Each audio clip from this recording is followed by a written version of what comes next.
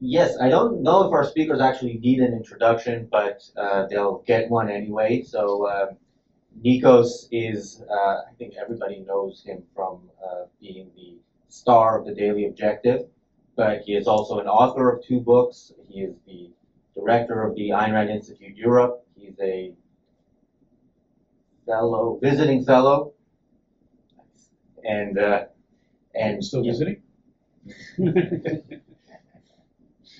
Uh, Yaron Brook is the chairman of the board of the Ayn Rand Institute, and um, Don Watkins has, I think, several titles which change from time to time. Uh, Week to week. The head of the coaching program. Wow. Uh, head of, Director of coaching and mentoring. yes, That is And- the final enduring until next year. and uh, Don and Yaron are also co-authors of three books: um, Free Market Revolution, Equal is Unfair, and The Moral Case for Finance. And just because Razi ignored it, I am the host of the Yaron Brook Show. Yes, just A that little as side gig I have. We were saving that for when we go live, so people uh, on YouTube know that. Yeah, I'm not uh, introdu- am introducing the speakers again? No, No. people on our channel should should know. But uh, yeah, so please join me in welcoming our speakers. And uh, Daniel, you can go live. Good. So first of all, thanks so much for honoring us with your presence. As Don says, whenever someone consumes your contents, all other things equal, they consider it more interesting than everything in the world, from Netflix to sex. So we really appreciate you being here. So what was the idea behind today's uh, today's topic? There are philosophies out there, like Stoicism or effective altruism, that in some ways promise the same thing as objectivist promises, which is a good life. That follow this philosophy, and your life will be in some way better. Stoicism says you will be prepared for the suffering which is life. So, with Stoicism, you in, you make sure that you suffer voluntarily, so then you're ready for the real deal. And with effective altruism, it is that you make sure how every day of your life and all aspects of your life, including your career, is targeted towards the good, which for that ideology, the good is helping others. Now, here's what I find very mysterious, and I hope you help me solve it. Stoicism, with various expressions, books, podcasts, has millions of followers. I checked before we entered the room. The Daily Stoic has close to 750,000 subscribers on YouTube. How many subscribers have we got, Razi? A bit less. 4,000. Okay. And the question is why? Why is it that this philosophy becomes more inspiring or more appealing to people? And when it comes to effective altruism, it's, as I found on the internet, a billion dollar business, which means entrepreneurs, productive people, so people who should be also our audience, target, however you want to call it, are considering it a very appealing philosophy. So today we're trying to answer two questions. First, what is that objectivism, that effective egoism is offering people in terms of the good life? And second, and personally the most interesting thing for me, why is it that we're not winning? I think we have the better ideas. Why is it that Stoicism, which tells you that suffering is cool, why is it more appealing than the philosophy which says you life is good, live? So we start with Don, and then we go to Yaron, and make sure you actively participate in the Q&A because I consider this very important that when we leave this room, we have a better understanding of what is happening and we start fixing this. I don't want in three years to still wonder, oh, why is objectivism less popular than Stoicism? It should be, do you remember three years ago when the counter attack started? So, Don. So, uh, wait, are we answering both questions at once, or are we answering them one at a time? You say and answer whatever you want. I'm just setting what the agenda, so Yeah, so we'll get to the why you'll get, yeah. I, certain ideas are winning, but I think I want to start out by just giving a little bit of the lay of the land, or how I think about the lay of the land, and that is, if we're thinking about the good life and what we want from life, the culture offers kind of two basic alternatives. One is happiness without morality, and the second is morality without happiness. So happiness without morality. This is so morality is basically fundamental guidance on what it means to be a good person, on how to live and how to act. And the, the conventional approach to anybody offering happiness has nothing to do with morality. It's there's really kind of two places that people will turn if they're seeking guidance on happiness. So one will be more broadly, you can think of it as self-help genre, right? And here there's it's an eclectic uh, kind of set of ideas, tactics.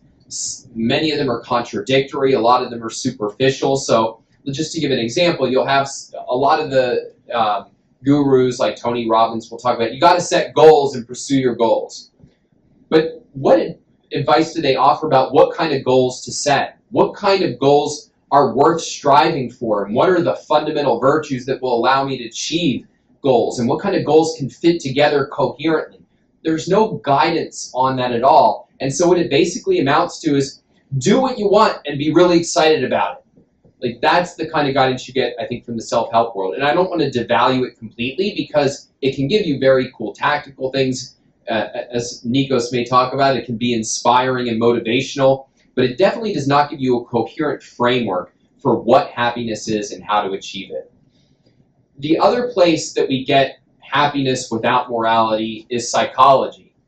And here you have psychologists who will often engage in studies that will try to assess what really makes people happy. Being born in Sweden? Being born in Sweden. well, it's. So what they'll use is happiness studies. And happiness studies, they, they're, they, they're conducted in different ways, but one way is they just ask people, how happy are you? Rank it. And just to give one brief, you mentioned Sweden, one brief illustration of how, it, like, really, uh, let's call it unrevealing these studies are. So in Sweden, it's something like, I'm going to get the exact numbers wrong, but the relationships are right. Um, about 10% of people will say, yeah, I'm, I'm absolutely happy. Or no, it's, um, what, it, what it basically amounts to, I wish I could remember the exact numbers. What it basically amounts to is that um, the, the number of people who say they're happy, it uh, doesn't like integrate the number of pe people who say they're clinically depressed. So it'll be like, you know, 90% of people say that they're happy and 20% of people will say they're clinically depressed. And so you get, there's, there's some kind of clash going on here. And again, it's not that these psychological studies tell us nothing, but how you define happiness is a philosophic question. And so people can say they're happy when by any standard. Their life isn't going the way they want it to. They're suffering. You know, different cultures generally. Well, I mean, there's some cultures uh, that it's just culturally you never admit to being happy. I think you've said the Israelis uh, Yaron like it's never okay to. Yeah, Jews never say they're happy. Yeah, happy? How can you be happy? Whereas other cultures, you can be completely miserable, but it's expected that you say that you're happy. So I just think it's not sufficient guidance that you get when you have happiness without morality. And then morality without happiness, I think we'll explore this in more detail. Nikos mentioned the effective altruist. This is basically, and the Stoics, this is basically the idea that morality, being good, what the good life consists of, is something other than your personal happiness. So the effective altruist, for instance, they take for granted you should do the most good. Well, what is the most good? It's placing others above yourself. And so here's some of the concrete guidance that you should give. What do you want to do with your life? What kind of work would fill you with passion? Screw that. No, no, no. You need to pick a job that's going to be really high paying so that you can donate most of the money to charity. You're going to be miserable? Too bad. You can you can save lives that way. How many kidneys do you have? Anybody here have more than one? Get rid of the other one. Give it to some stranger because that's what it means to be a good person it's the elevation of others above your own personal happiness. And it's and, and Stoicism is uh, a similar sort of thing. It's the idea that no, it's not striving to be happy. It's striving not to experience negative emotions by not caring about anything in particular. And so, like a, a kind of ideal would be, you know, if you can feel indifferent to winning the lottery versus having your best friend killed right in front of you, great job. You've managed to attain like the right orientation to life. And I mean, to me, that's not a description of happiness. It's not a description of the good life. It's a description of a lobotomy. Um, and so, what Ayn Rand offers, and what I think is so inspiring and valuable about it, is a morality of happiness. It's going to give you fundamental guidance on what it means to be a good person, but being a good person means good for you, for your happiness and for your joy. So I'll just leave it at that. There's a lot more to say about that, but Yaron, maybe you can fill in uh, if you want to elaborate on anything else, but definitely on the positive of what it means to be egoistic. Yeah, I mean, first let's be clear that because I saw some stuff on, online about this. Uh, the title of this, which I assume is yours. yeah, my, my next book will have the, the name effective, Effective Egoism. egoism. Okay, uh, so effective egoism, um, which I assumed was Don's because it's a clever title, and Don always comes up with the clever titles. Uh, in a sense, again, it's like anything egoism, like rational egoism, and it's it's a redundancy. The the, the, the, the whole point of egoism is to be effective at living. Is to be effective at living your life for the purpose of your happiness, your success, your achievement, your flourishing uh, at living. And what, of course, because we're talking about a, a philosophy, it A tells you why you should live your life for you. It gives you a reason for it. And then what Rand does is she provides a, a, approach, a whole system of looking at the world and how to choose your values. What should guide your choice of the values to pursue? Uh, it's not what you feel like. It's not, uh, uh, you know, uh, uh, avoiding pain. It's not doing what the culture expects, that is altruism. It's not other. It's what really is good for me. Uh, and of course, the methodology of doing that is, is, is to use reason, to, to look at the world, to evaluate what is actually good for human beings, what is not good for human beings, what should be embraced, the good, and what should be avoided, the bad, for human life. So first, what are the principles? What are the what are the principles that are universal, that true of all human beings, right? Follow reason. That's true of all human beings. And only once you get the principles, uh, you, you know, uh, reason, productiveness, uh, honesty, and so on, then can you start talking about, okay, now what values are going to lead to my happiness? How do I take that and break it down into more concrete values that are actually personal? Now, we're going to choose different careers. We're going to choose different people to marry. We're going to choose different uh, different types of restaurants to go to. We, there are a lot of optional values now, but the focused orientation is towards our own happiness, and it's always guided by the universal principles.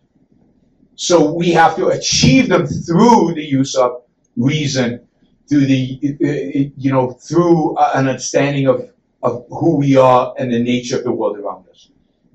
So it's an incredibly, this is an incredibly powerful tool we now have, right? Which is morality, the principles of morality that now can shape each of our lives.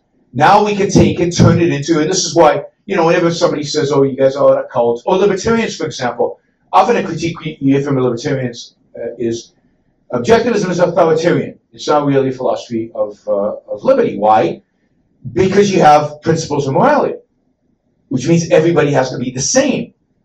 And you have to, you have to, you know, if somebody's not rational, they're out, according to objectives, right?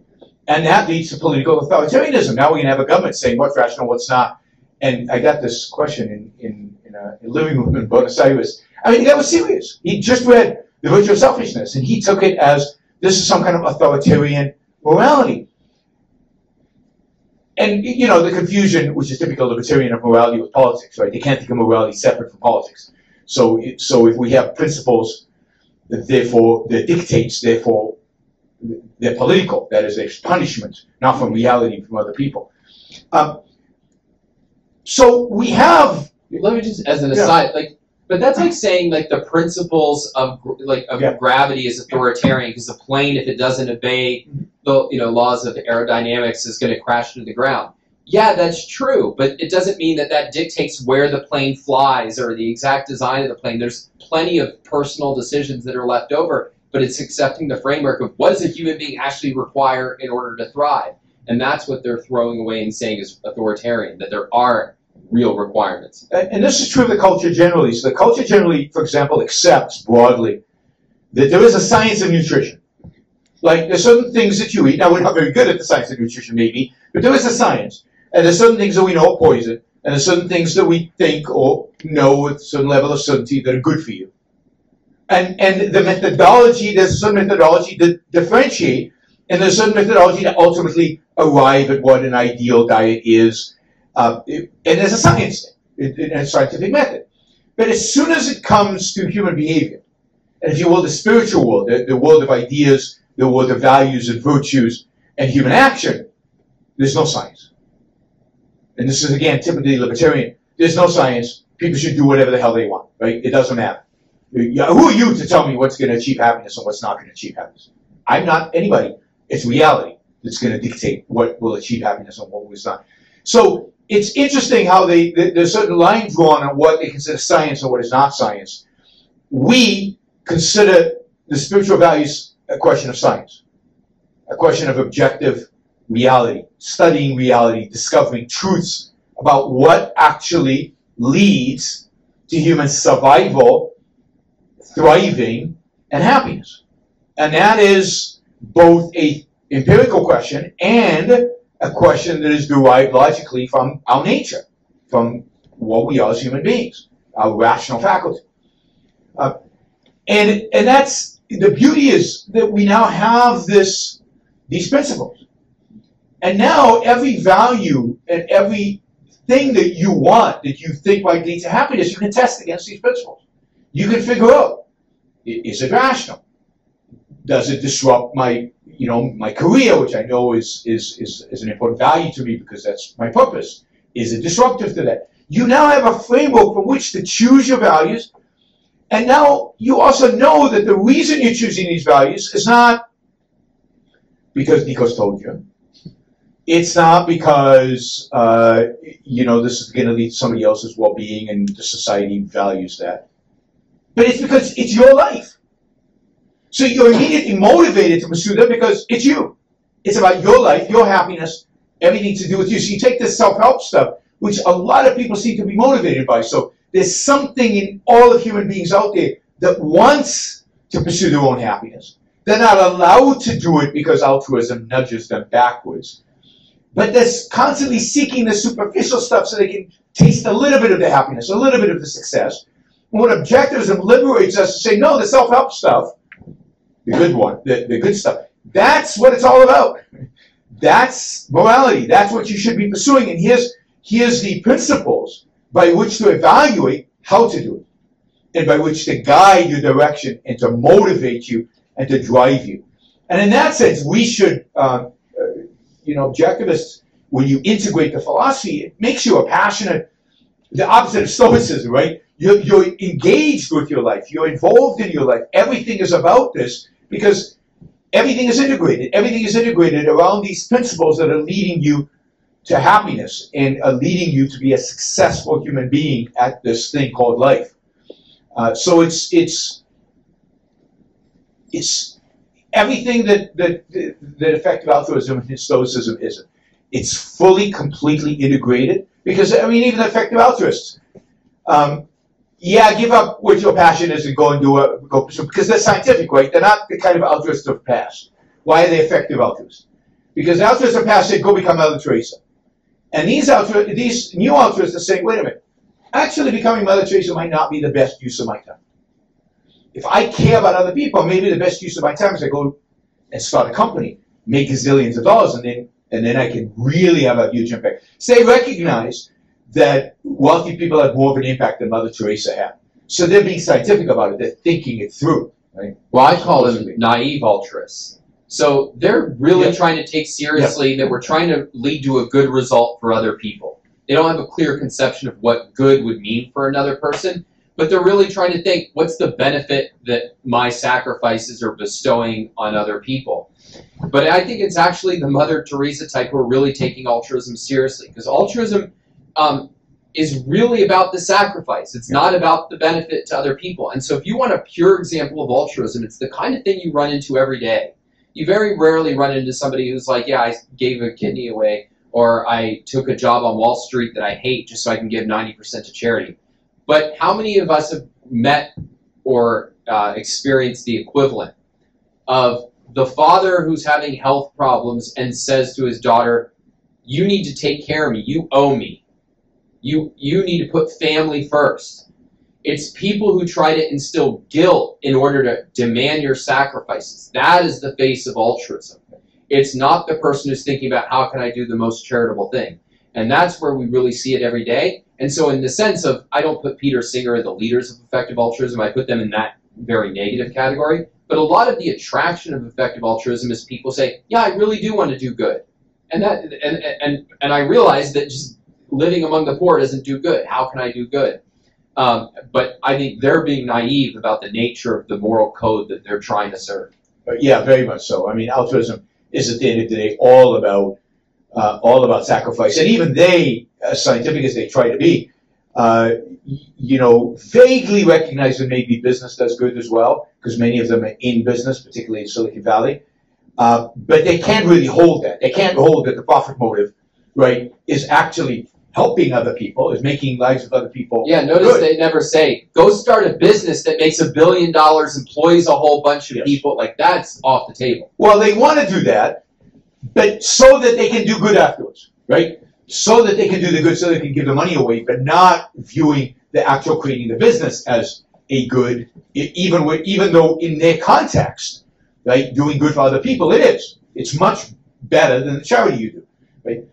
So, uh, so yes, they're completely evading, um, and in that sense, they strike me as the most benevolent of all the altruists because they, they, they, they seem to have this real idea of, of doing good, of, of, of helping other people. They seem to really care about it.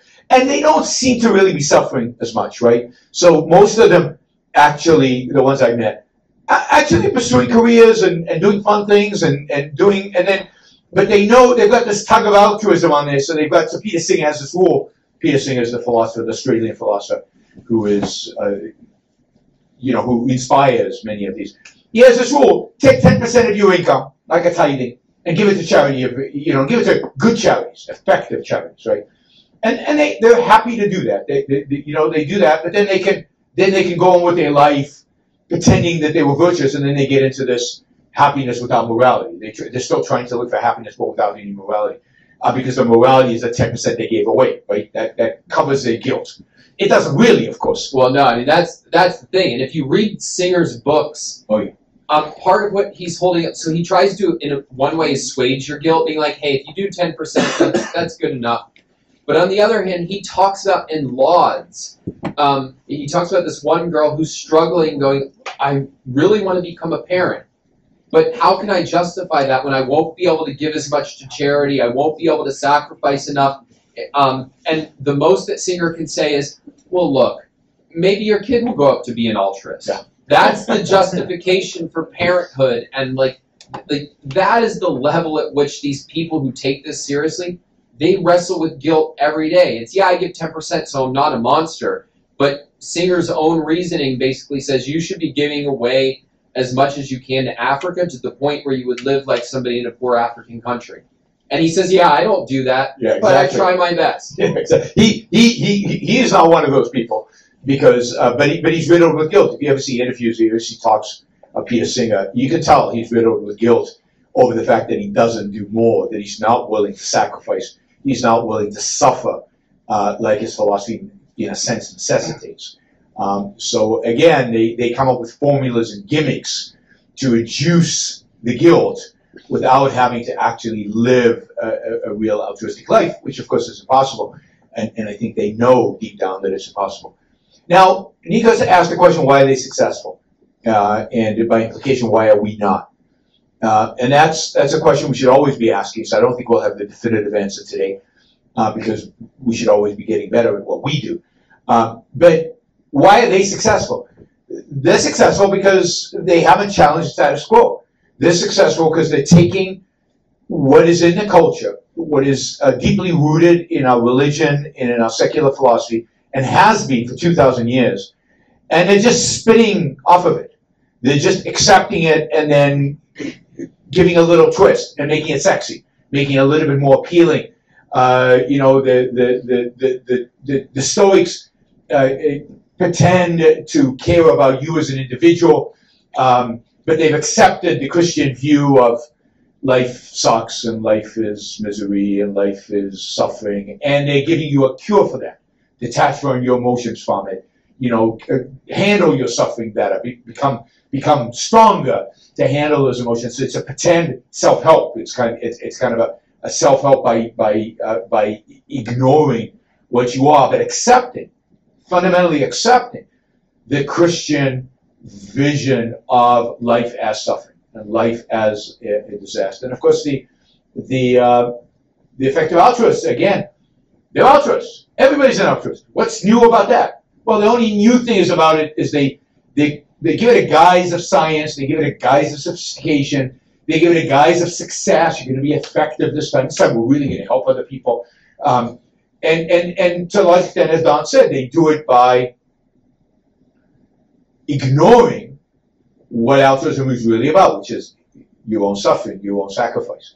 Um, so they're effective or they're successful because they're mainstream, because they, they're never challenging the mainstream. They're not, they're not questioning the mainstream. They're just embracing it. And, and the mainstream intellectually, the mainstream philosophically, and the mainstream in the street out there. If you stop somebody out there, ask them what morality is, they answer something vague that is similar to effective altruism or the stoicism. That, that's what they, they actually produce. Yeah, I mean, I would say, first of all, I don't think effective altruism is popular. I think it's trendy.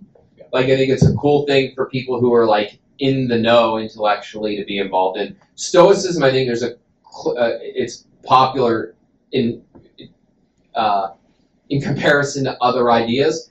I think with Stoicism, it's, um, I agree with what Yaron said, but I think part of it is one thing you see, so there's an objectivist view that ideas drive history, but the state of a culture can also drive ideas. And so what you've seen historically is that something like Stoicism often becomes attractive when life feels very unstable and people don't know how to cope with it. And I think one of the attractions to Stoicism is that life has been very scary and unstable really since 9 11 uh, in the West, but particularly in the uh, last 10 or so years. And that creates a certain kind of attraction to it. But let me also name, I think, a better attraction to it. If you're pursuing your happiness and you're pursuing ambitious goals, one of the things you have to endure is challenging costs. And some of what people have taken from Stoicism is sort of like, what are the mind frames and tactics you can use to endure hardship on the way to an inspiring goal. And so one of the things, part of how Stoicism became trendy is athletes got really turned on to it through Ryan Holiday's work. And I don't think they were sitting there going, I'm not going to pursue values, I'm detached from reality. What they liked was the idea of, I need to push myself for six hours a day to train. That's really hard. How do I make myself accept that pain in order to get to my exciting goal, playing in the NFL or winning a championship? And that kind of advice um, was appealing to them. So I think there's an appeal to better people there. And even with effective altruism, as Yaron was saying, there's an appeal to better people, which is I want to do something amazing in the world. I don't just want to like sit around and be poor with somebody. I want to solve cool problems. So I think both of them also try to appeal to better parts of human beings. Uh, we can talk about objectivism and the extent to which we've been successful or unsuccessful, but that's sort of how I think about how those ideas have achieved if not exactly popularity, then um, kind of uh, being sexy. I want to push the speakers a bit more on this. So if you want to be inspired on how to hustle, if you want to be inspired on how to give everything for your purpose, why Ryan Holiday, not Howard Roark? So I get what you say that uh, effective altruism is more in tune with dominant ideas. But particularly with Stoicism, it asks you to do difficult things. If you think about David Goggins, it's not easy to be David Goggins. And the mere fact that you see him, it puts the bar high. You see him say, oh, I could be better, I could do better. And the same happens with the heroes of Ayn Rand, particularly with, with Roark. So let me ask once more. Why Stoicism and not us? Well, I'll name one part of it. I don't. This may or may not be a fundamental, but I think it's real. Ryan Holiday's alive. Ayn Rand's not. If Ayn Rand was writing this today, I, I, I think. Let me put it more broadly. People respond to living figures who are helping them understand the world today, and the challenge we have is to be a compelling cultural figure in our in our own right, who also is sharing Ayn Rand's framework.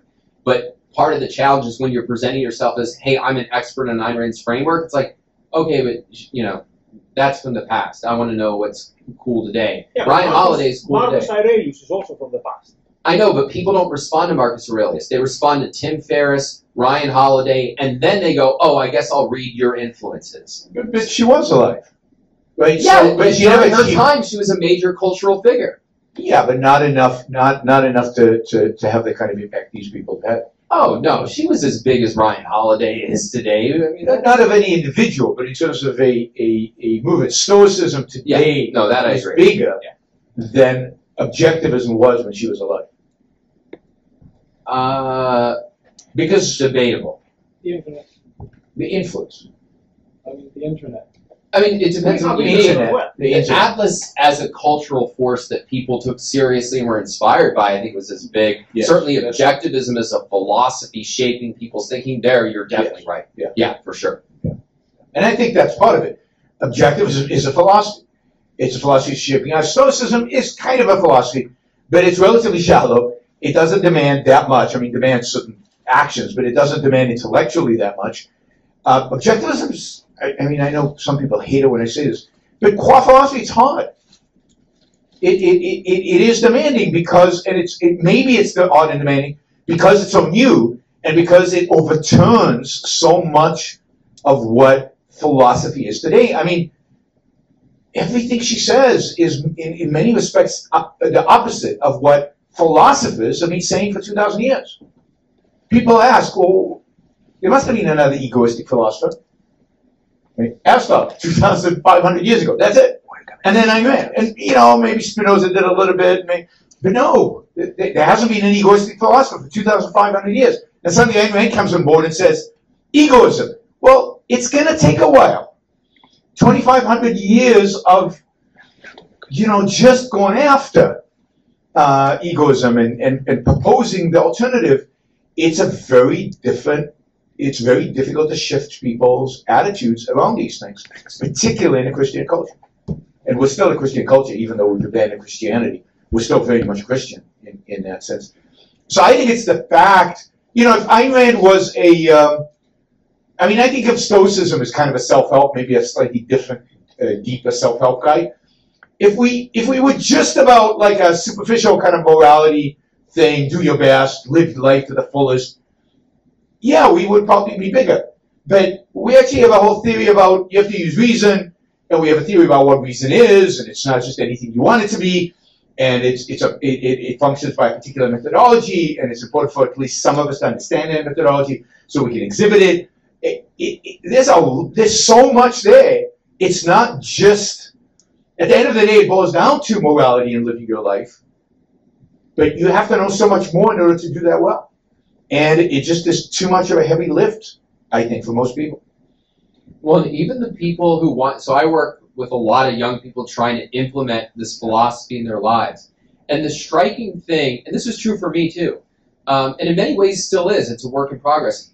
Even when you want to live by the philosophy because you think it's really getting reality right, even when you finally come to understand what it's actually kind of asking you, what, how would I actually live by this?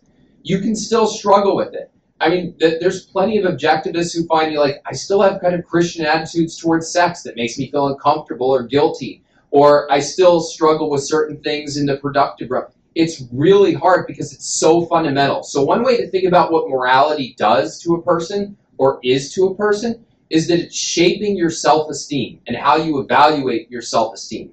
And so, when you ask somebody to change a philosophy, particularly change a morality, what you're saying is your whole self concept is now thrown into question, and you have to rearrange how you evaluate yourself in the deepest sense.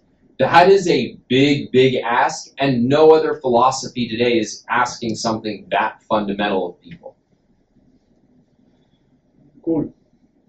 So let's go to the audience. There's also a couple of super chats. Let's start with the super chat because we're for a profit business, so we need to do that. And the first super chat is actually on the topic of uh, profit. So thanks to our friend who asked the question. And he asked, isn't profit, isn't profit motive inherently amoral or morally ambiguous at best? So maybe to translate it, you might want to make money and you do this by drugs, or you want to make money because you want to buy a Ferrari and you want to make your neighbor jealous. So why is profit motive inherently moral, or is it? Um, I think it absolutely is. Um, it's like saying Absolutely is amoral or it absolutely is moral. Uh, absolutely is moral. It's like saying uh, it's like saying sex is absolutely good with everyone under any circumstances. Can you imagine a circumstance where sex is not good for you? Yeah, lots. But does that mean sex in in what we mean by sex? Not good. Yes, it's absolutely good. Right? So everything is you have to hold context. You always have to hold context. Nothing is in that sense absolute and it applies everywhere, all the time, in absolutely every circumstance as one can even imagine. The profit motive is absolutely a good because it represents the best in you. It represents your ability to produce and create value. To create value that is uh, then uh, objectively validated by, if you will, the marketplace, by the fact that people are willing to pay for it more than it costs you to produce. So it's a value that the market validates. So it's it's absolutely good because you're producing pro-life, pro-human being values that the market is willing to compensate you for and, and, and validate for. What happens? What about drugs? Or what about something that you produce that's harmful to other people? Well, that's a real exception, but that's an exception to the whole issue of production. That is, yes, people can be unbelievably irrational and willing to engage in self-destructive activities. And, you know, you producing to satisfy the irrationality is not a good. Whether, it's, whether it produces a profit or not. Profit is not relevant there to the actual fact that what you're doing is not good. You're, you're producing a product that inherently is self-destructive. It, it causes destruction to your clients. The fact that they want to destroy yourself, the fact that they're masochists in some weird way, is not something you should be proud of helping them to do. So um, profit, even if you lose, even if it's a losing venture, it's a bad venture. Profit is not the relevant parameter. The parameter there is the unvirtuousness of producing the thing that you're producing. That doesn't make productiveness, for example, not a virtue, right? Because some things to produce is not good. That makes sense? Let me have one of the mics of the audience and we keep the. So, who had their hand first? There. Then one. So, the order will be one super chat, one audience. Hey, and you should reward live audience of a super chat. I agree, but the boss disagrees. Wait, wait a. There's somebody who's more of a boss than me. My other boss. Who pays you more? Sorry, Razi. So, Don, first of all, uh, I appreciate it. I'm happy that you're writing effective because I own the domain name .com. If you want, I can transfer it to you. Uh, You're not going to give it away? He said transfer it to you. Okay. He didn't say sell. yeah, that's fine. My question is, uh, if you follow a rational epistemology, isn't evidence-based psychology more rational and evidence-based than the objective theory of happiness because they do clinical trials, they have a scientific method, and we do not. Um, that's a good question. So the issue comes down to how are you even defining happiness? Because it makes a big difference. Like, what are you measuring? And there's no real answer to that.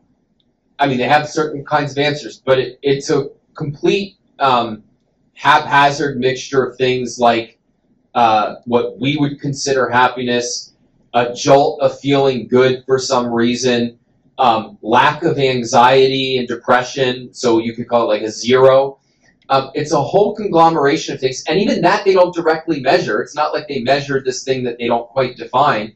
It's that they have what they do is they have a whole bunch of questions that, um, if you look at most of the kind of um, the questionnaires used to assess happiness, what they really are is anti-anxiety or anti-depression measures. So it's not even attempting to measure happiness. It's just these things are correlated with lack of depression and anxiety, and we're going to call that happiness, and that's going to be our standard for happiness studies. You can't get around the fact that what happiness is is a philosophic question.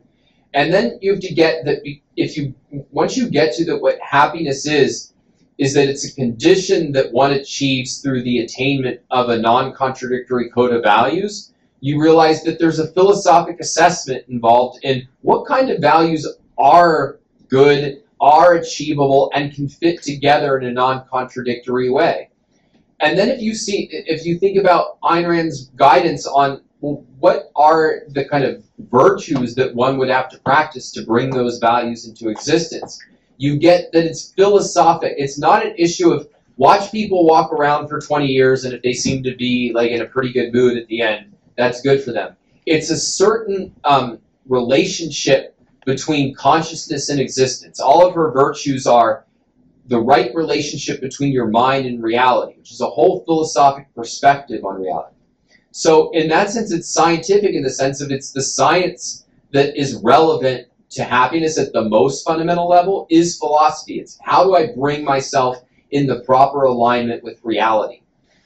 That said, is it valuable as supplemental guidance to have studies on things like what are the kinds of activities that people do that reduce anxiety and depression and that build solid relationships? Absolutely. I, um, I was before when I was on the uh, before I was coming over here today. I was um, listening to an interview with John Gottman, who does psychological research on what healthy relation, what makes for healthy relationships. That's hugely valuable, and you couldn't get that from philosophy. But you still need a fundamental guidance from philosophy for what is the role of a relationship in my life, and what is the fundamental thing I should be seeking from it. And so, what philosophy is giving you is fundamental guidance that can't be replaced by psychology, because psychology is counting on a lot of insight from philosophy in these realms. And the most fundamental thing it counts on, I think, is like, what even is happiness? But how falsifiable is it, the whole theory of objectivism? Well, it's falsifiable by come up with a better argument. Come up with an argument why it's not true. I don't think falsifiable is the standard for what's rational. Um, that comes from a Popperian kind of perspective that I think is, is really wrong. The issue is not, is this falsifiable? The issue is, did you prove it? Did you validate it? Did you provide evidence? Existence exists is not falsifiable, but it's true. That's the I think the right perspective on knowledge.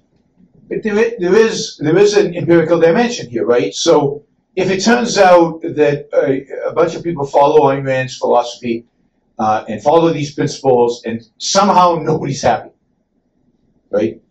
Then there would be a problem. You know, we'd have to we'd have to question. Maybe we've made some errors in our assumptions. Maybe we've made some errors in application. Maybe we we made some errors somewhere.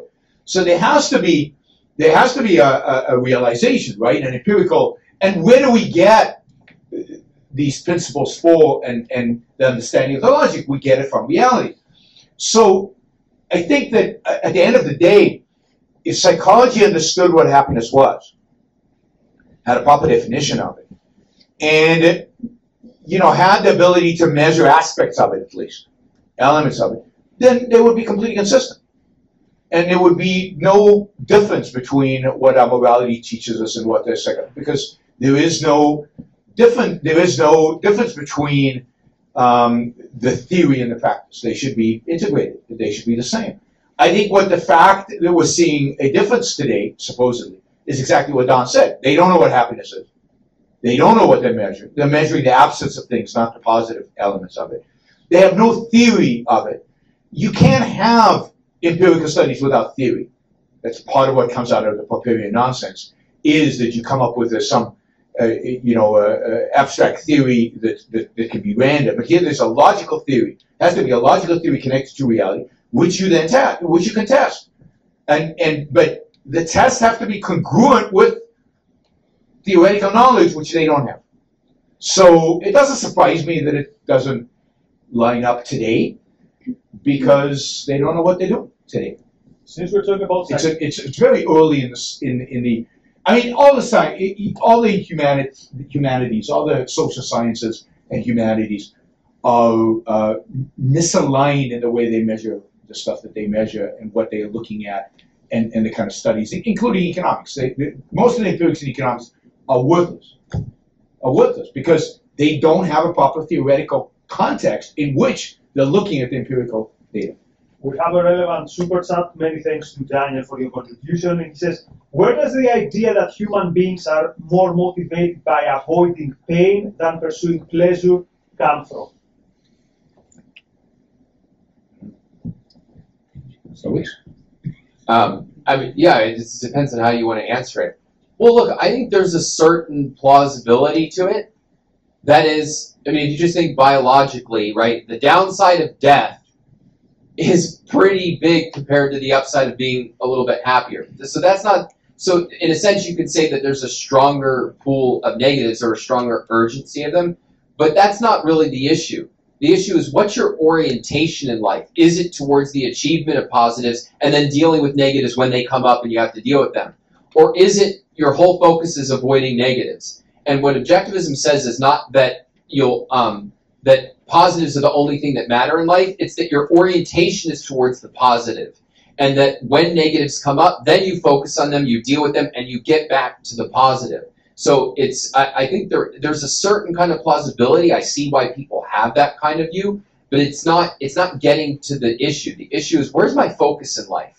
What do I regard as important, worthy of attention? What do I regard as essential? This is one of the core themes of Atlas Shrugged. It took me a long time to appreciate that this was central to it, which was um, what matters in life, and it's the positive, happiness, joy, success. Ayn Rand was not a fool. She grew up in Soviet Russia. She knew what suffering, fear, destruction, enslavement were. And she still was able to maintain the view that that's not what matters in life. And the Stoics are the people who, in the face of living in a Western country, look out and say, ah, man, there's some problems. I guess life is suffering. Jordan Peterson. But, but yeah, I mean, it's all over Christianity, right? Uh, the purpose of life uh, is, is, is not some positive to be pursued in this life. It's an afterlife. It's something afterwards. Right now, in this life, life sucks. Avoid pain. Avoid pain as much as you can so that you can, you, you can make it, right? To, to, to ultimately to, to where, where, you know, uh, uh, pleasure exists. It doesn't exist here. The good doesn't exist here. It exists in, in, in this afterlife. And there's another aspect to it. It's in human history, how many people have had the time and, if you will, the energy to focus on the good? Like, life sucked for people most of history. So it's not just, pain really is real. Uh, there's a, I mean, it, it's, it's kind of weird in the 21st century to assume that life sucks when life is like unbelievably good. But for most of human history, people got up in the morning, went to work, drudgery, the work was drudgery for the most part, came home, ate, and went to sleep. And that was life. And they died at 36. And it, so you can see why Hobbes would say, you know, uh, life is short, what is it? Short, Nasty, brutish. nasty, brutish, and short. Because it was. For most people, for a big chunk of the population, it was nasty, brutish, and short. And there were a few people who had it a little better, right? Uh, but for most of history, people didn't have the time and the energy to focus on the positive and to devote time to the positive. And that was the exception. The rule was drudgery. Um, and it, the reason for that is the, the, the, the is, is the lack of reason and the lack of industry and the lack of what ultimately led to a prosperity, which allows us time to think about happiness and to think about the values, to what values to pursue. But that, in a sense, there are very few cultures in history. Greece, a little bit in Rome, and then the Renaissance on. And even the Renaissance on, what percentage of the population benefited from that until, until the Industrial Revolution? Ten percent? Most of the people lived in drudgery. So it's an achievement to get to the point where uh, most of humanity can really focus on happiness. A friend at the back, then a friend at the front. Um, I have a question. Uh, don't you think that um, these ideas of morality, of goods, they are really like for naive people? Um, what is the measure of morality? Is it a law? Is it a book that says this is how you should do? Or as long as you can get away with things, this means you know you haven't done anything wrong. Because I mean, we can pretend there is like good and bad, but then ultimately, um, you know, it's who is stronger. This person wins. I mean, what is morality? Like, I, I just I came to conclusion that really like this sort of biblical. I want like I'm now asking myself like these biblical things of good. Um, what are they for? Because. Uh, yeah, like as long as you can get away, there are plenty of examples that people win if you can get away with things. And I mean, it's just let's be a little bit cynical, not just say, oh, this is good, this is bad, you know. Well, I mean, a starting point for thinking about it is clearly there's some things good and bad for your life, right? Like, it's not a matter of opinion. If you got cancer, would that be good for your life or bad for your life? It would be bad. So there's an objective standard that might be hard to articulate, but there's a clear things that impact you and allow you to live better, and that things that hold you back, tear you down, move you towards death. And then it's a question of how you discover those and how you figure out what those things are. And so the, there, I don't think there can really be any objection that there's some objective standard of what's good and bad for you. Like it's self-evident that people's lives can be going in better and worse directions, can be in better and worse conditions. And then the question is, can you articulate a standard that helps you assess, okay, well, what choices can I make that will actually put my life in the best state possible? Now, once you've answered that, and we can talk about Ayn Rand's answer to that, but I think the core of the answer comes from the fact that in order to figure out what is objectively good for an entity, what you have to think about is their basic means of survival. That's going to give you the deepest insight into what improves their life and what holds it back. And I think one of most one of Ayn Rand's most profound insights and it's central to her philosophy, is that human beings, our basic means of survival is our mind, is reason. Reason is what allows us to identify our values, formulate a long range vision for our life, build a life that is actually achievable, successful, and can achieve happiness. And so that is what allows us to assess the fundamental things that are good for us and the fundamental things that are bad for us. Now, then, if you ask, okay, if that's true, and I'm stipulating it, I haven't proven it, obviously, right? If that's true, what does it mean to say, if I get away with something? Like, what would that even mean? Well, I mean, I guess you could take, like, an example, right? Um, it's wrong to lie. Is it okay to lie then if I can get away with it?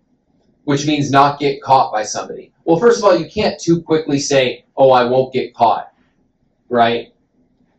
every thief thinks he's not going to get caught. But if you if you steal something, it's a fact, and in principle, a fact can be discovered. So you don't know you're going to get away with it. But even there, what's the whole meaning of it? What am I trying to achieve? Because this is really the I think the core of the issue. Um, the reason not to lie or not to steal or not to murder or not to cheat on your spouse is not because I might get caught. It's because that's not what I want from life. I have a vision of what I want from life. I want to be a writer who's surrounded by friends who provide me with intellectual stimulation, who spends my days enjoying great heroic art that inspires me, who falls in love with somebody that I admire. That's what I want from life. Is a policy of lying, cheating, and stealing going to move me closer towards that or away from that? It's going to move it away from it. I'm not going to be a person worthy of admiration. I'm going to turn other people's rationality instead of the biggest reward a huge threat to me. The stupider they are, the, the less likely I'll get caught. The smarter they are, the more likely, the more I'm vulnerable. It's throwing away the life that I want to do something, even if I might not get caught. There's no value there. There's no reward. Money? What's that money going to buy me if I've lost everything on this earth that I care about? Let me give So this, can I answer? Go. I mean, this is the problem of the fact that we associate morality with what you said, biblical, the Bible, right? We associate morality with religion. Yeah, why should you follow the Ten Commandments? Who cares? If I can get away with it, cool. There's no God anyway. So who's going to catch me? And who's going to punish me? There's no heaven or hell. So I'm going to do whatever the hell I want. As long as I can get away with it. And other people let me get away with it. I'll do it. But that's a false orientation around what morality means and what morality is. Morality is not about cheating on some other, uh, not about a system imposed on you that somebody arbitrarily decided is right or wrong, which is what religion, religious morality is. Morality is about, and this is Ayn Rand's innovation, in a sense it's Aristotle's, but Ayn Rand really fleshes it out and really gives it, gives it foundation. Morality is a set of guidelines for how to live a good life. And if it's a set of guidelines on how to live a good life, and it's a good set of guidelines on how to live a good life, why would you want to cheat on it? Why would you want to get away with anything? Because it's not that other people are judging you. Is she moral or isn't she moral? That's not morality. It's you're judging yourself. Am I living a good life or aren't I living a good life? So if if if um, you know if if you teach me how to uh, you know how to I'm trying to think of an analogy how to be a good surgeon, and there's a way to be a bad surgeon. You, you kill all your patients, and there's a way to be a good surgeon. You get the exact result. Why would I ever want to be a bad surgeon? I only want to do this well because that's what I am. If I give you some principles on how to live a good life, what's the temptation of living a bad life? I want to give, yeah, you can get away with it. You can lie, you can cheat, you can steal. Sometimes you can get away with it. It's very rare that you can actually get away with it. But you're not going to live well. Now, if you tell me, no, no, no, no, Yaron, you, you, I can, I, I know people who like Stephen Cheer and they live a great life. They're so happy, they're so successful. But I've never met anybody like that. It, it empirically doesn't exist. Go back to the empirical evidence, falsifiability. They just don't exist. They just don't exist. I, I, I mean, I like to say the only career in the world where lying is a virtue is politics. but have you ever seen a happy politician? They're pathetic, miserable, horrible human being. They really are. Because they lie. And lying has consequences on your own soul. This is kind of what Don was getting to. And it's not just uh, that you don't live the life you want to live. Some of them don't know what life they want to live. They want power. Power is not a rational goal. And as a consequence, seeking power destroys you. It destroys your soul. It destroys who you are. If you accept that you can attain values through lying,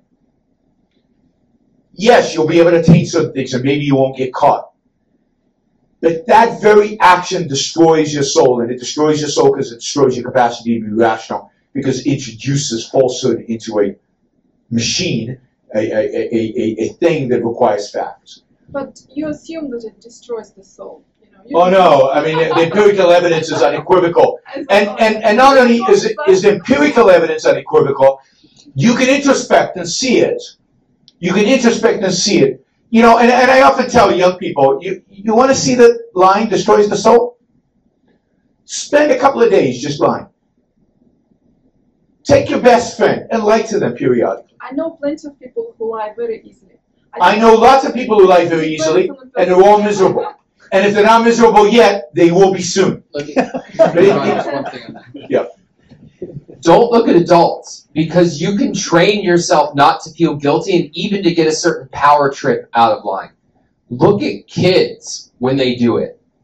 And there's a real I mean you can see the destruction of the soul in those moments. And as some as a father of children. So I I mean look, at the end of the day, fine. If you think lying is the path to happiness, go for it. Go out and try it. Uh, I'm not going to. Yeah, no, I mean, this is, this is, it is, it, well, you know, morality is, it's, it, again, it's not this dogma that is imposed on you by an external force and everybody's watching you, will you get away with it or not? Yeah, you can you can do all kinds of lies, particularly you can lie to yourself very effectively without getting caught. Um, although you know you're lying to yourself. But try it But you know, it's, and it doesn't work. It's interesting. For example, the ultimate one of the re, like here, what we're talking, it's like a masturbation. You know, we just talk talk. But then see real life example of morality. Uh, people go to war and they see uh, things that you know they their head can't process the pain they they witnessed, and it's such it's a problem. Uh, what post traumatic uh, post traumatic. Sure. So so is, you know, it's so somebody who's been to war. yeah, and they just No, as I I have been to war. So somebody who's been to war and been in a war. yeah, And as somebody who is not masturbating here because I live it now, I won't. I won't elaborate on that one. That was complicated. Um, but this is not masturbation because this is life, right? This might seem like we're talking, we're just talking, but this talk means something because it's reflective of how we behave and what kind of life we live. This is not some theory that, that is over there and we don't live it. And then when, you know, so people go to war and what they discover is that there's a lot of evil in the world. And there is indeed a lot of evil in the world.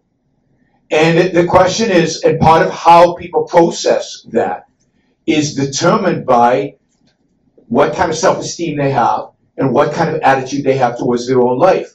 So I can process the evil of war in the context of that's something I want to avoid. That's something I don't want to have to live through. That's why I want to live a different kind of life and I want to fight against the things that create this evil, the things that make this evil possible. So the, the, the fact that there's real evil in the world just makes it very real and concrete to all of us that we need morality. We need morality to avoid that evil. And indeed, a moral world would not have war. Let me give two examples in terms of uh, in terms of getting away with it. One fictional, one from real life. Have you watched the Casa de Papel, the heist? Yes. There's a figure there, the professor. He's a very clever guy who, whom you could imagine would be a millionaire in any line of business. He decides to be a thief, a crook. He quotes, sorry for the spoiler, gets away with it. He's not cut. What does this mean though for the rest of his life? His success is that now he has to live in an island somewhere in the middle of nowhere and he has to hide for the rest of his life. He got away with it and the rest of his life is hiding. A real life example Stalin, one of the most evil persons in history. He died of old age and the last 40 to 50 years of his life, what? Probably. probably, the last 50 years of his life, he was paranoid. He was so paranoid that one day, his presumably best friend, Lavrenti Beria, the head of the secret police, shows up in his house, and because Stalin had screwed up the war, it was the beginning of the Nazi invasion, he was sure that Beria came to arrest him. Now imagine this. You've led a life which has led you to the point that you hear your best friend being outside of your house and your assumption is okay. I'm going to end up in the torture chamber and i'm going to be killed. This life sucks. And what was la- stalin's last moments? Lying on the floor and no one daring to go there because all his friends the politburo wanted to make sure that he dies. This life sucks. And he got away with it. He didn't die in the gulag. He wasn't executed. He didn't fall in a coup. But he led a life which sucked. His wife committed suicide because probably she hated him so much. Imagine living with this. Because he loved his wife. Imagine having this in your consciousness. So the fact that you get away with it, if you do the wrong things, doesn't mean that your life is. Uh, So do you know the real the the the, the, the uh, real life story of the heist? no. So, so um, there's a famous robbery in in in in in, in Britain, uh, the Great Train Robbery, uh, where they got away with a huge amount of money, and some of them got away. Um, and and a, a famous example, one one of the top guys who was part of the robbery, it was a was a very sophisticated robbery. He made it to South, South America with a lot of money, and he lived in South America. You know, uh, uh, was Argentina, Brazil. He lived there, or Uruguay, Uruguay, I don't know.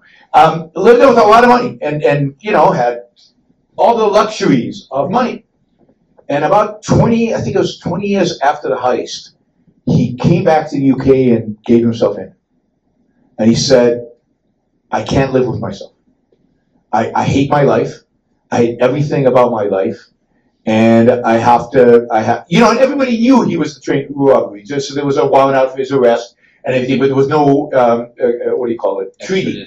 There was no extradition treaty. So he literally came back to the UK and gave himself up because he couldn't, he couldn't live with it. And Actually, actually, I can tell you the the real story. Oh, yeah. Yeah, it was Ronnie Biggs. Yep. He lived in Rio de Janeiro, Brazil. Yep. Married a local girl, had kids. That's why he could not be extradited back to England. because he was married to a Brazilian. Correct, with children. But he got cancer. Yeah? And he could not get good treatment in Brazil. So that's why he came back to the UK because he felt he could get better treatment for his cancer in the UK.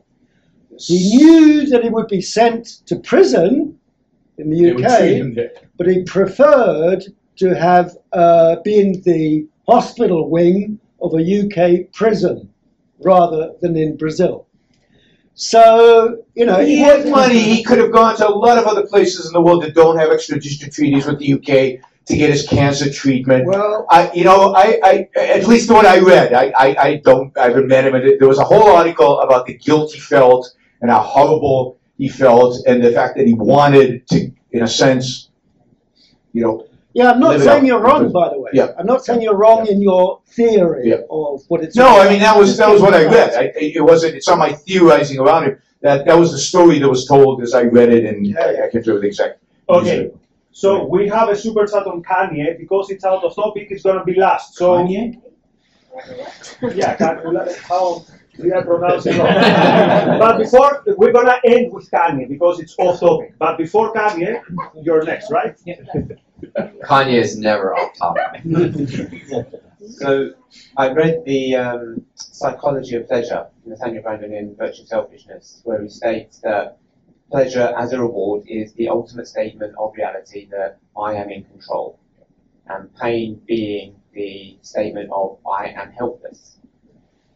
So could it be that the appeal of Stoicism, of where people are feeling so much pain or with so much um, stimulus that it does feel painful, that Stoicism kind of allows them to feel a sense of control through that pain. Because from my memory, like the, the most, um, you've reached the ideals of Stoicism when you can be tortured and be okay with it.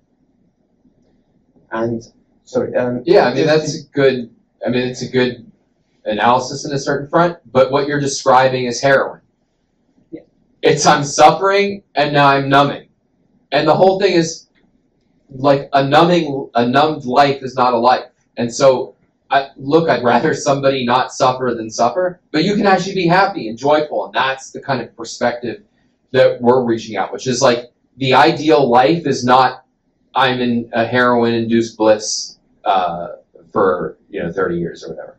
And I completely agree with you as well. I just wanted to add, in terms of helping other people choose objectivism as the preferred way, because we are biologically programmed to avoid pain more than go towards pleasure. How can we create, or how can we take these abstract principles and create a very good framework where it gives them those first few steps on the ladder, like, right, first do this, then this. Does that make sense? Oh yeah, I have an answer to that. You go first. Yeah. Um, yeah, I wanted to say something about pain and pleasure because I, I don't quite interpret it the way you did. So Nathaniel, I think, is making a metaphysical point that this is kind of how this is the most basic, most fundamental, most metaphysical thing that babies feel. Right? They avoid pain. Pro pleasure. Pain is you reject. Kind of reality is against you. You're out of control. Pleasure is it's supportive of you. Because if you think about John Galt's being tortured, right? He's not a stoic, but he but he also doesn't let the pain go. You know, he doesn't let the pain, in a sense, get to him. Right? It doesn't change who he is. He doesn't let it. Uh, he's not out of control because he has a cognition. He can control that. He can, he knows what's going on, right? So even though that gives him that metaphysical sense of out of control, because he's who he is, because he has a set of ideas, because he has a philosophy, it, the, the torture is not him feeling out of control. Um, what happens with most people who don't have a philosophy is is exactly you know what you described. For them, that that pain stays. I'm out of control. Instead of okay, this is a context. There's some context here. I feel the pain in this context. I can handle it because I know you know what the antidote to it is. Um, so it's it's I think it's important to to not take that you know not say that that pain is a sense of out of control. That's not how it's always perceived. Because once you become conceptual, you have the ability to control. That's what the Stoics are taking advantage of, in a sense. But what Galt does, because he has a philosophy, because he has a life. So this idea of controlling and living with pain is not unique to the Stoics, right? They want you to reject the positive. That's what's really controlling pain or, or being able to live with pain or being able to manage pain is something that I think any rational person could do because they know pain is not the essential of what life is. Well, I mean, also part of it is the best way to cope with pain is insofar as you can see it in service of a pleasure. So, I mean, think about like a workout is deeply painful and uncomfortable. And the way that it becomes, it doesn't make you feel out of control or like life is awful because you can see it almost as this is like my tribute to the positive I'm trying to achieve, which is, you know, health, a good body, energy, and so on. And it's the more that you can see pain as serving a positive, that's actually a better way to cope with it than just try to disengage from life and nothing bothers me at all. It's more that you're tying it to a positive value that you're pursuing. Um, the thing I was going to say to get to the end part of your question, which is what one thing that I definitely think will help objectivism be more of a cultural influence is it's presented and it is a philosophy. So it's abstract fundamental guidance on how to live. But part of what you want is you want a philosophy translated into much more actionable tactical kind of guidance. And so for instance my book effective egoism part of what it's trying to do is take objectivism and give more specific guidance on how do you implement this? What would it look like to take the first steps on the journey to being more productive more rational, um, uh, to grow my self-esteem. And I think there's a lot more work to make it all the way down to like super tactical, like, okay, here's an exercise you can use that's going to help you form clearer values, that's going to help you overcome the obstacles. And indeed, part of what I'm doing at the Rand Institute is I run the coaching and mentoring program. And part of what we're trying to do is get to that very, very tactical level so that hopefully in a few years, you know, we can have like, you know, the workbook to, you know, objectivism in 90 days. It's not really going to be that, but you get my point where it's going to be you'll have the fundamental guidance on understanding the ideas and and how like what's their justification, but then like okay, now I know what I can really do to build my self confidence, to become a better thinker, to discover a career that I love, to um, you know you know wind my way through romance and so on in, in really healthy, rational ways. I think we're going to get there to the point where um, you'll basically just have a toolkit to really make the most of this philosophy. But we're kind of in the earliest stages there. It's taken it's taken a lot of us just decades to learn what the hell the philosophy is, let alone um, be able to kind of serve it up in a very digestible form. But I agree 100%. Once that exists, I think that helps objectivism as a cultural force. And it's one reason that's it's one reason I'm excited about the work I'm doing um, the main reason is I just love working with our students and helping them achieve their goals. But I can see where this leads in 10 years. And I think uh, we'll have some amazing, amazing tools for people who become inspired by Ayn Rand. I see it as like a cool version of like Robert Greene's Mastery and uh, Mike Rowe's work because uh, he's got that big apprenticeship kind of program. I think something like that. Yeah, but and I mean, I, I'll just say one of my inspirations for the kind of book I wanted effective egoism into be was Robert Greene, uh, who I disagree with him about a lot of things. What's that? Mentor of Ryan Holiday. Uh, yeah, that's true.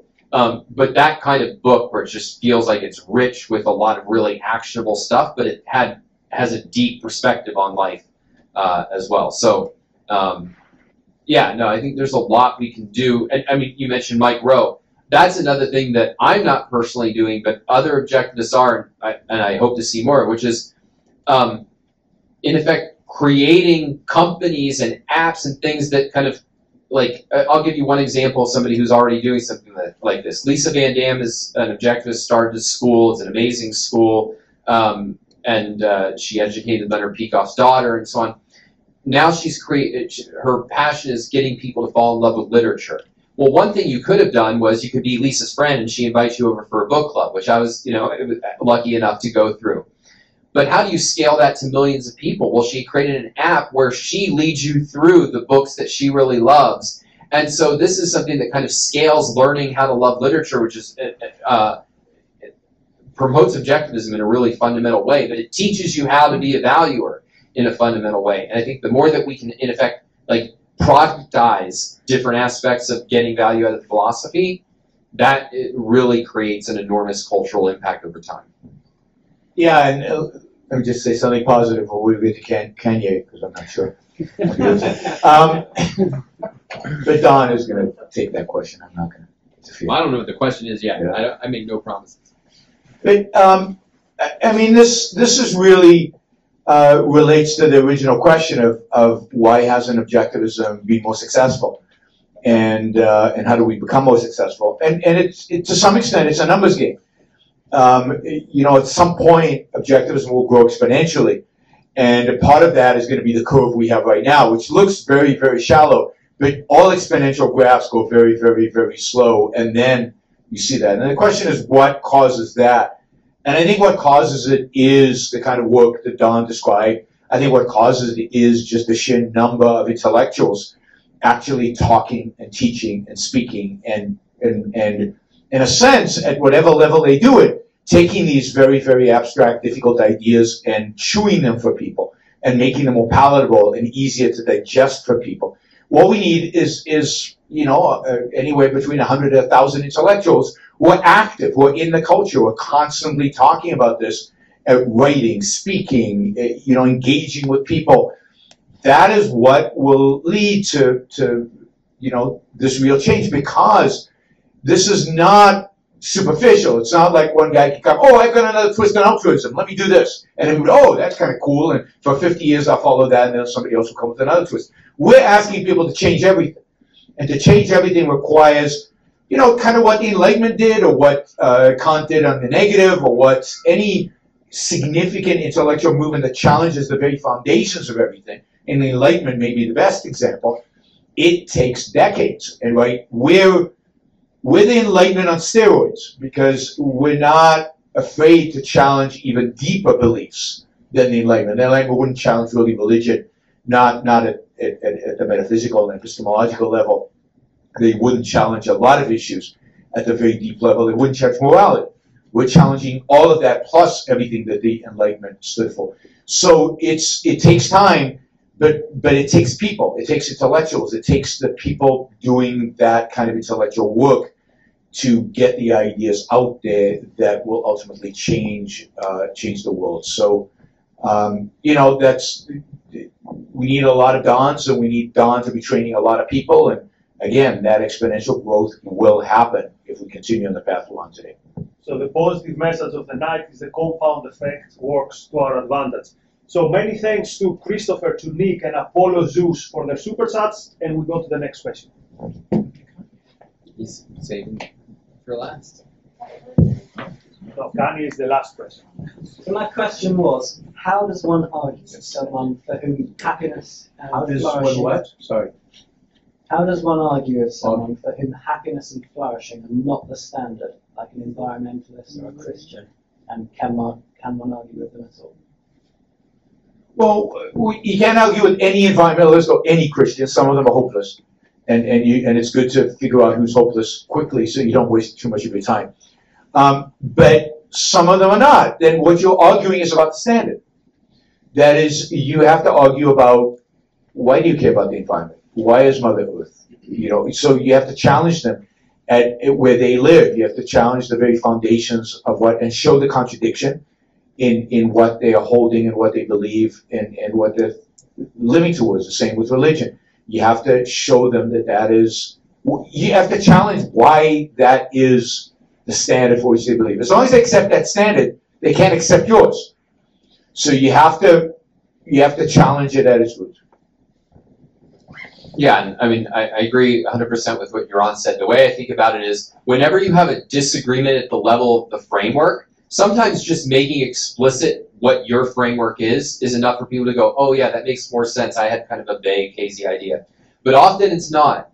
And there you have, there's two things that you need to do.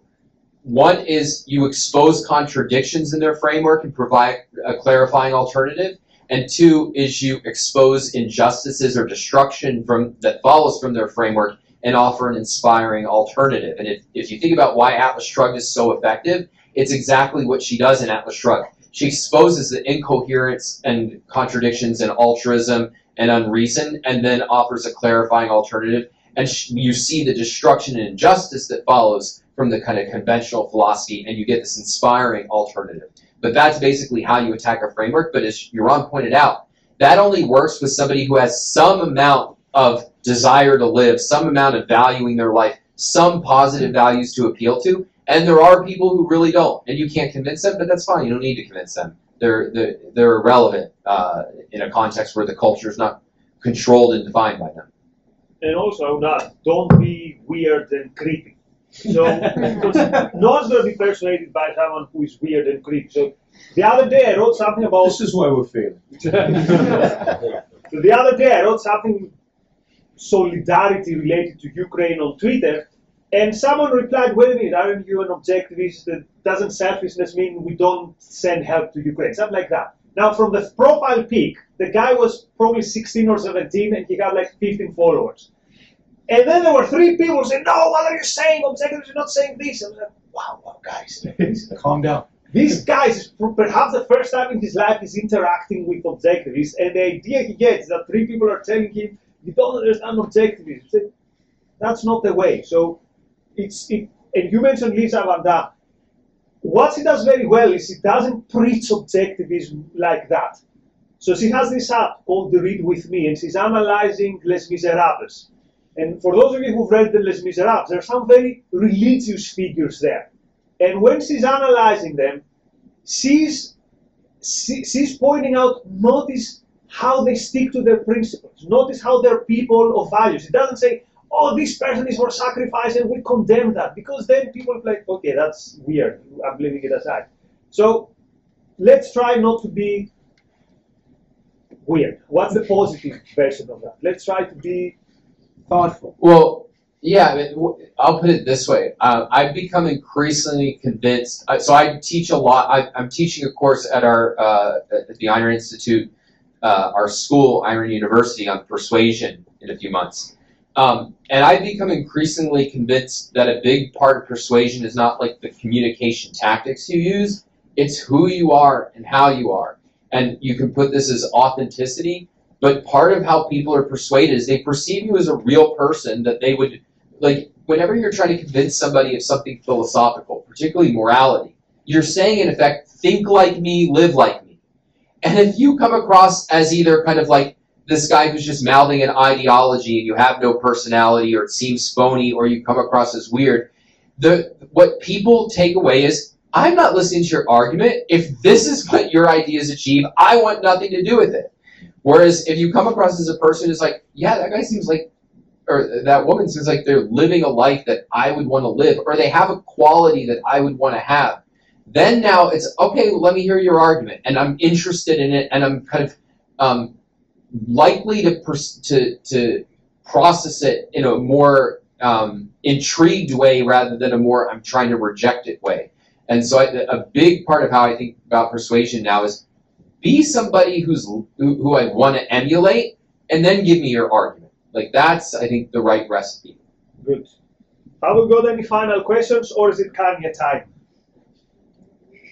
It's Kanye time. Uh, we got one more. We got Where one is more. the one? Okay, yeah.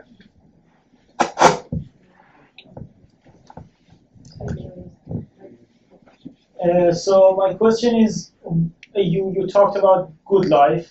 What is a good life? Uh, do you define it subjectively or objectively? As in, uh, can can somebody just out of nowhere say, "Hey, this is what I think a good life is," and uh, this is how I'm going to live it, and I don't care what anyone else. Can people do that? But I think part of what we try to get across is that we definitely think there's objective conception of what a good life is. And to kind of summarize points that we've made, but Yaron was really elaborating on, um, the briefest summary I can give is that it's a life of reason, where you're using your, your mind as your tool of survival to select your ideas, to select your goals, to pursue your values, reason all the time in every issue. It's a life of purpose where you're aiming at pro-life goals. You're trying to ch- achieve your happiness with every choice that you make. And above all, that you have a productive purpose that is at the center of your life. That the core of how you walk through this world is as a creative being who's generating the values that they need to live. Uh, to put it more simply, find a career you love and build your life around it. And then finally, it's a life of self-esteem where you set demanding moral standards for yourself based on reality and based on human nature and you strive to live up to them and you never let your, you never settle for less than the best from life. That is the core of what is objectively good for a person. And as Yaron pointed out that leaves a lot of optionality for where do you want to live? What kind of work do you want to do? What kind of jokes do you like? What kind of men or women do you fall in love with? There's a lot of options but those three cores run throughout all of us in terms of what actually uh, is good and what will allow you to thrive and achieve happiness. And, and they, they run through all your uh, optional values. As the optional values can't contradict any one of them because that, that will create conflict and it will create internal conflict and it will be, it will subvert the survivor value of the three that that um, uh, that Don articulated, and then of course the integration of all of them. They should all be integrated around you, around your life and your love of life and, and, and your pursuit of life. So it can't be you just decide I'm, I'm living a good life. It, it, it can't be something arbitrary like that. It can't be anything that you do. Um, to live a good life is to pursue a specific type of life with a specific methodology the methodology of reason. Okay. Comments on Kanye West's uh, latest uh, statements. What was it? That uh, okay, the one was that obesity is the the, glor- the glorification of obesity is demonic, and something about the Jews. Are the Jews related to the obesity? No, but they're behind cancel culture or something like that. I, no, I mean my like look, my view is Kanye West. If you like hip hop at all, he's a really brilliant creator, particularly early and middle period Kanye. Um, but he's clearly a person who has severe, severe um, psychological problems. He's admitted it, and I don't take these comments as these are considered comments of somebody who like hates Jews. This is somebody with severe bipolar disorder, and it's really tragic that it's not being handled in a way clearly that is conducive to his well-being. So I find it really sad, and the fact that people are treating it as if like a, a you know I came up here and was starting to say anti-Semitic things. Um, hopefully, Yaron punch me in the nose if I did it. Um, like I, I don't put it in that category. I just find the whole thing really tragic. Okay, makes sense. So, many thanks again for honoring us with your time, Razi. Any parting thoughts? Razi is the creator and the organizer of anything that happens in ARCUK, so he deserves the last word.